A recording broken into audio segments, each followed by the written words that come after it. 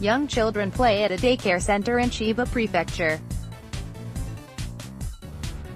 Mainichi, the number of children waiting to enter authorized daycare facilities in 87 municipalities nationwide as of April stood at 11,342, down 33% from the figure recorded a year ago, a Mainichi Shimbun survey has found.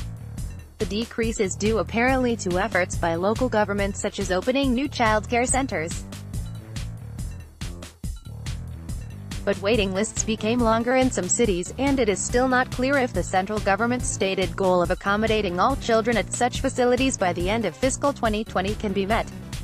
The survey took place from May to June targeting 20 major cities, 23 wards in Tokyo and 44 cities, towns and villages where more than 100 young children were waiting to be accepted at local daycare centers authorized by prefectural governors. The total capacity of certified daycare centers in those communities stood at 984,395 persons as of April, marking an increase of 7%, or 59,868 persons, from a year earlier. In contrast, the number of children on waiting lists dropped in 63 municipalities, or about 70% of the total. 12 municipalities, such as the city of Toyonaka and Osaka Prefecture in western Japan, had no children kept waiting to enter facilities. The number was 9 the previous year. Of the 12, 6, including Tokyo's Suginami ward, had no children on waiting lists for the first time this year.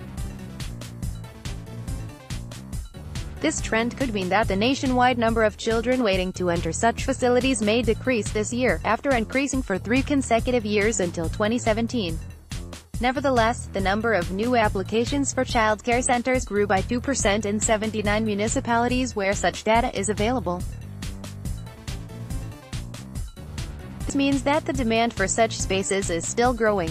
At 18 municipalities, the number of children on waiting lists grew, and 43 local bodies had at least 100 kids keen to attend daycare.